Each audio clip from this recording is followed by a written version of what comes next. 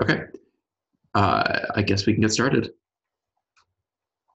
Uh, so initiatives first. Oh, yeah, everyone's put this agenda. Okay. Uh, initiatives.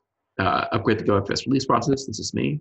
Uh, we have entered into stage two of our release process for um, uh, Go-IPFS uh, 0.4.22.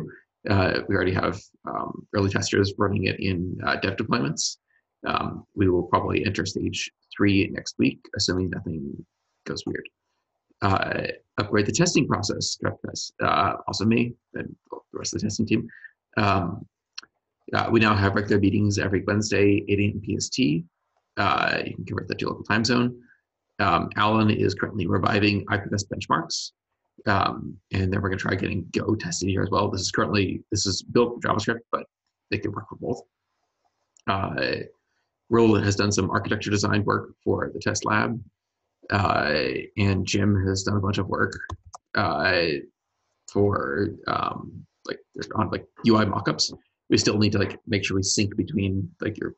We're gonna pull an Alan that meeting and sync up on like what IPFS benchmarks currently does because we can probably reuse some of the infrastructure, some of the UI, uh, depending on like the test we're trying to run. Um, I'll hand it off to whoever wants to do garbage collection, putting on Jason. Yes.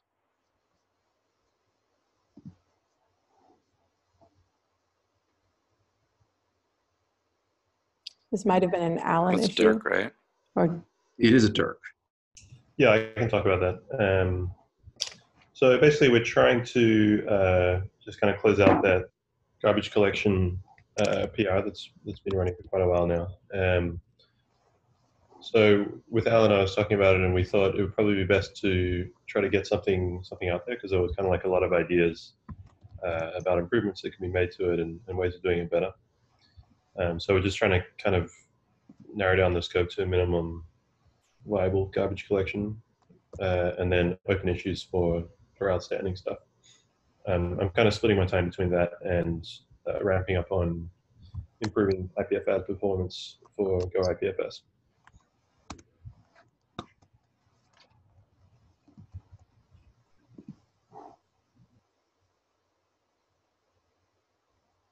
For delegated routing, is that a Alan thing? And Alan happens to not be with us this Uh, that's both an Alan and a Martin. I think Right. Lidel can talk about it. Yeah, I Vital. can- Yep. Uh, Can you hear me? Yes. Okay. Uh, yep. So uh, it's something I've been looking at for at for my integration with Brave. Uh, basically, uh, it's a nice stopgap until we implement peer actual peer-to-peer transport. We would uh, ship uh, uh, embedded JSIPFS that does uh, delegated routing, and uh, I've been debugging uh, performance a bit deeper last week and today, and basically we need to like the, the, there's a performance problem of how those modules are implemented right now. There are no throttling, and we have limitation of how many uh, uh, concurrent requests uh, we can do uh, for a single domain in web browser, and also we are doing uh, Swarm Connect constantly. Uh, which is not necessary. At least we could throttle it over some window time windows. So I got some changes uh, locally that I will PR uh, that should address that. There's a separate topic of uh, gateway API commands uh, configuration option in Go IPFS not wired uh, into anything. Uh, I talked about this briefly with Steven. That like it's like eventually need to be wired up, but for immediate immediate need it's to get those uh, libp2p modules uh, responsible for delegated uh, routing to the point where we can actually sh ship them with uh, JSIPFS. Like the current version will just flood uh, not only the web browser but also our uh, preload nodes uh, toggle uh, DDoS protection. So when I decrease the, the the flood, it still got blocked on the other end. So we need we need to figure out both the library and also configuration of our preload nodes to handle a lot of requests. Because we can we will decrease the number of uh, requests sent from individual node, but if we deploy it as a default or uh, like as a opt-in, uh, and people by default will use our preload nodes, uh, uh, just like they did with uh, WebSocket Star, will quickly run into similar problems. Uh, I guess that's like current state.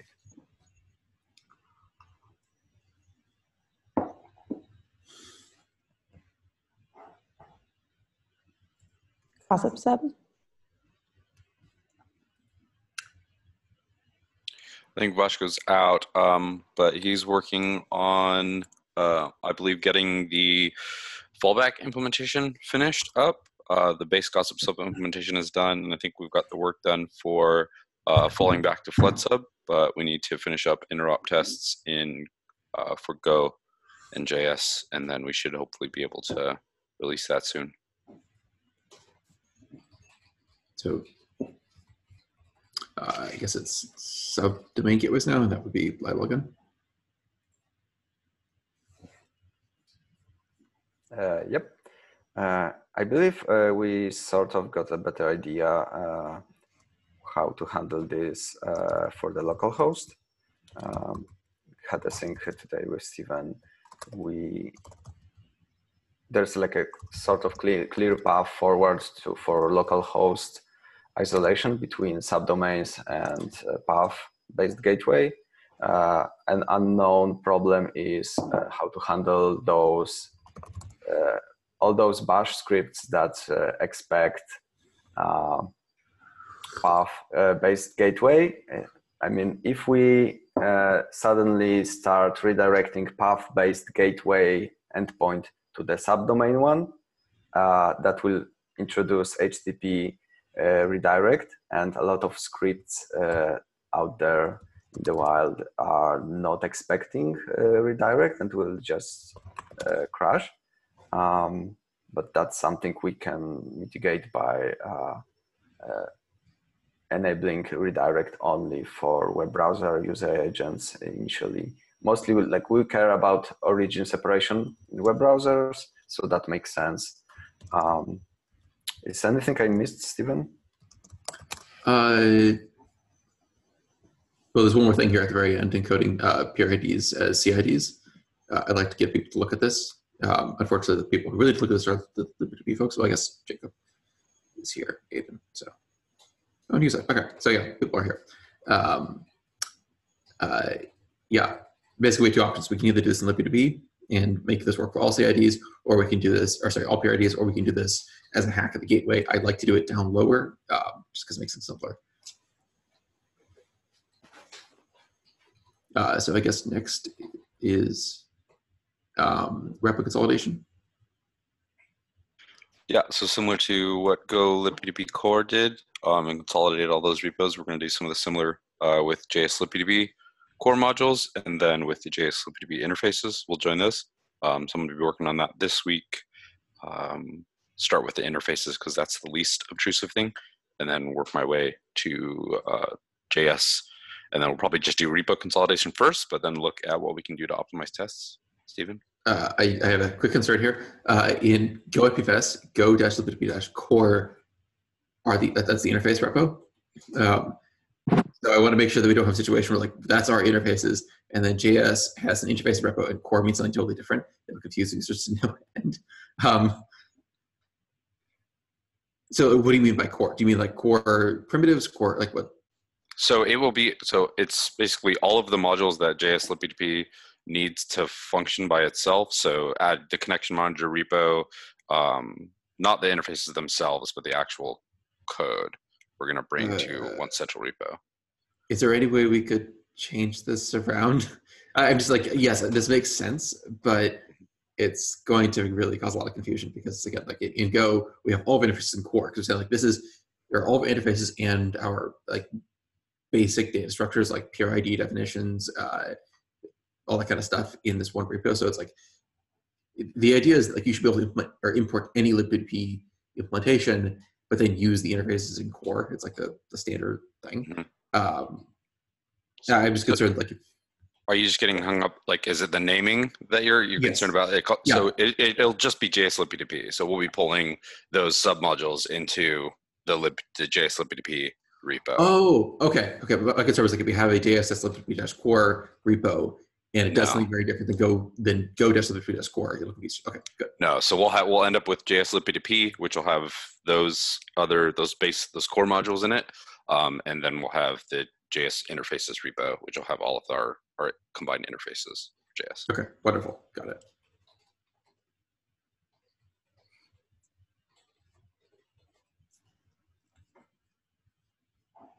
Uh, then I guess we're now on to blockers and asks.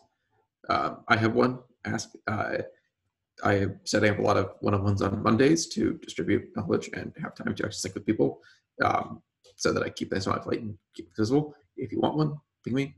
Uh, I guess next one, Hannah is wondering uh, if there is a JS BitSwap person. Uh, apparently, they do exist. Uh, who is that? I guess that's me. I'm the uh, repo maintainer. Okay. Uh, uh, sorry, just to double check. I, are are you? Because I met someone at Team Week who is like, I've just been brought on to do JS BitSwap, and then I don't know if they're still there or I haven't heard from them. Did I say that? Was Uh, that you? Probably I said that.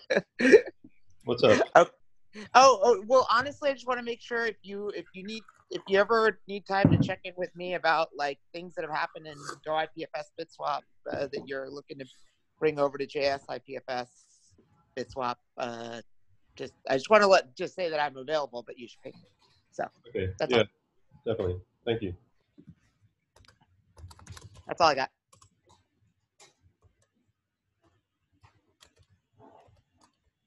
Any other blockers or initiatives? I I can I can talk briefly about where IPNS things are at right now, um, which is just there's in my the the me list down below. There's a PR that's tracking all of the pub sub IPNS stuff. There are an issue tracking all of the PRs. There's four that are outstanding that are like basically there. I showed a demo during uh, during IPFS camp.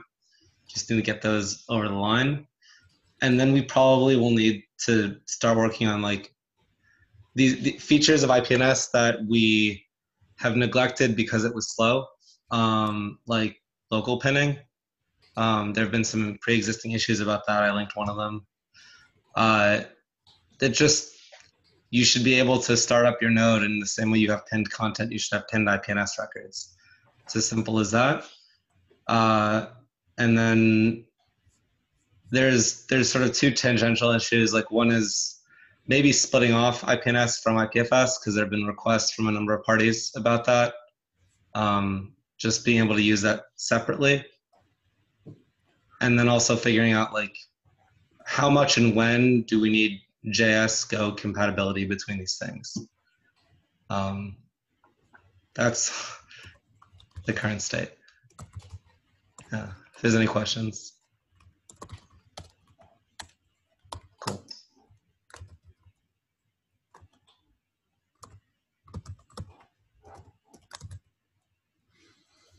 I think that's it. Unless we're actually at the parking lot. Uh, okay, announcement. If there's anything you want to say about that. What? Uh, anything you want to say about the parking lot issue? Oh no, no, no.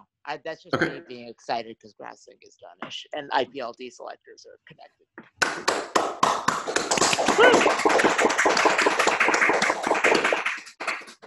Many years coming.